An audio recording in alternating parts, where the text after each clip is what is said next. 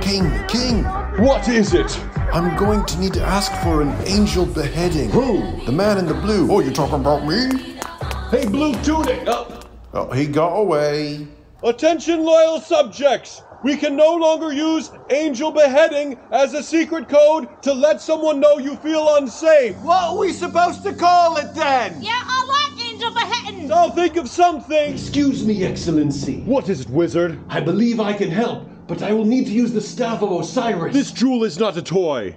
Legends say that it can bridge the boundaries between worlds. Understood. Good luck, wizard. The power is mine.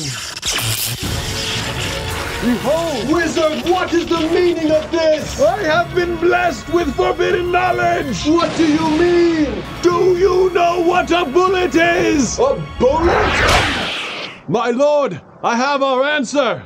It is called the angel shot.